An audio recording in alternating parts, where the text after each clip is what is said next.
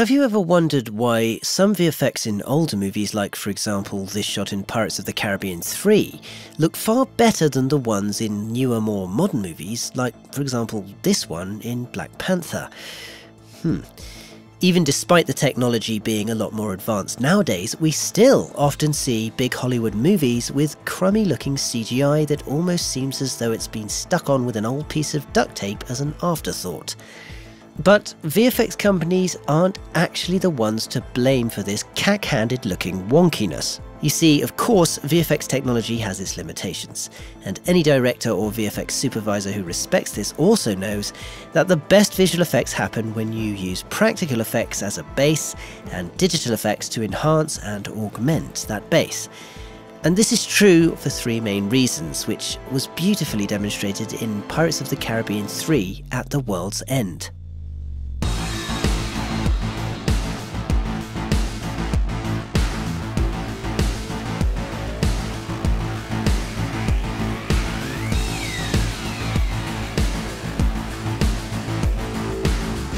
Number one, grounding.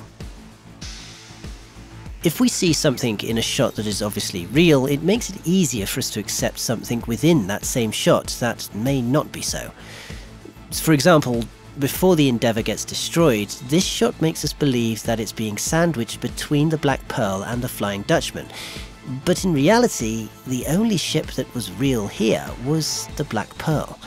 The Endeavour was actually a 16 foot miniature that was shot in front of a blue screen soundstage, and the pyro elements were shot on a larger miniature on a separate plate.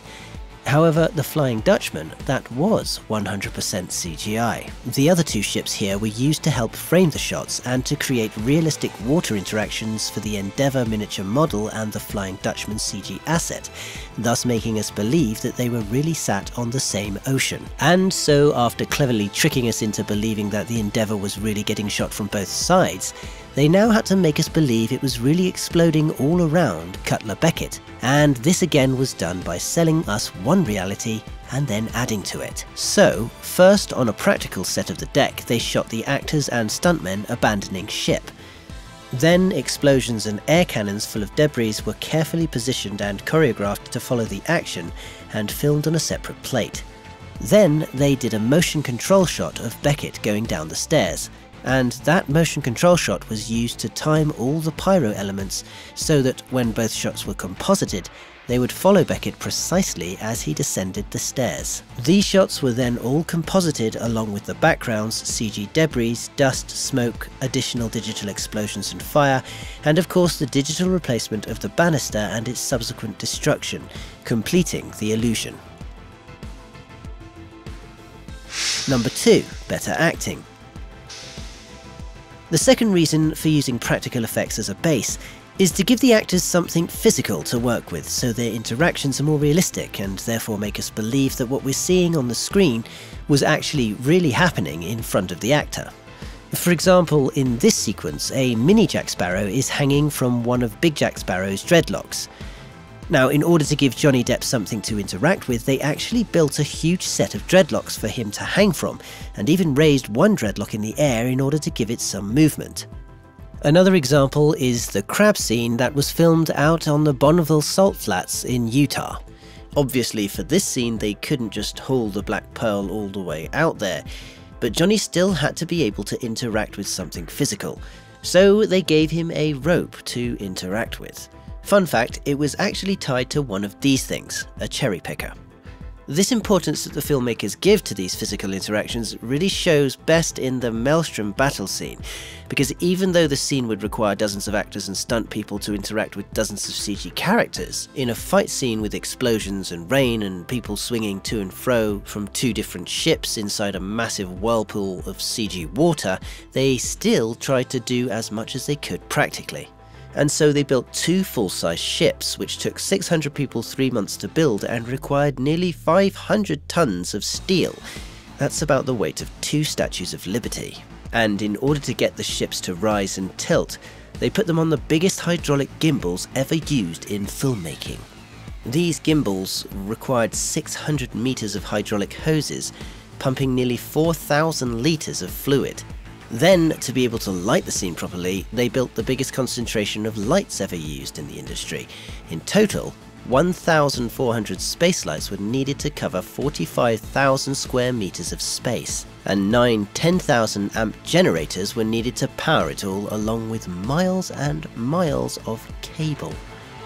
But even after having a location for the scene to take place and a way of lighting it, they still needed to create the ambience, and so they added huge amounts of rain, ocean spray, smoke, explosions, wind, and flying debris. Interestingly, what this really achieved was a harsh reality that pirates in this situation would have actually felt. The actors were wet and cold, so they were really feeling miserable. Their costumes were heavy and sticking to them, making their movements slower and harder. They were really getting splashed by spray and trying to avoid being hit by flying debris. And now, instead of just acting, they were also reacting. They weren't just pretending to be on a moving ship, but instead were trying very hard not to slip and fall, and they weren't just imagining that they were pirates in a storm, but instead fighting to survive it. Number 3. Footage.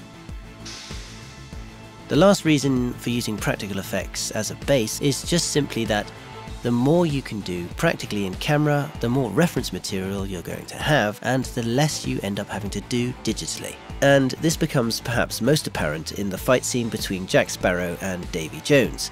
Obviously, Davy Jones is a fully CG character and had to be done digitally, and obviously they can't really fight up on the yardarm, if only just for safety reasons, and obviously big sweeping shots like this one are too long and extensive to do practically, and so better to do digitally. But animating a fully digital Johnny Depp would have been complicated, time consuming, and less convincing, and it would have also meant that there would have been nothing real left in the scene to convince us that what we were watching was real. So Johnny learnt the fight choreography on a yardarm on set. Then they filmed him and a stuntman in a mocap suit fighting in the rain. Then they captured all the close up shots and camera moves. So now, even though the backgrounds Davy Jones himself, the mast, the sails, and the yardarm ended up being recreated digitally, Johnny Depp's performance anchors them all to reality. You can see this actually happen in the initial swooping shot. If we play it slowly right up until this point here, the shot is 100% CGI. Even Jack Sparrow is a digidouble. But then they used this piece of rigging to cross in front of them so they could transition to the live action Johnny fighting on set. Even though some people think that At the World's End wasn't as good as the first two films, and others claim they made it a bit too long or that they rushed it, they did manage to make us believe some pretty incredible things. They made us believe that stones were crabs, that there were multiple Jack Sparrows, and that you can tip over a ship by running from side to side. But best of all, they made us believe in an epic swashbuckling pirate tale without ever setting sail.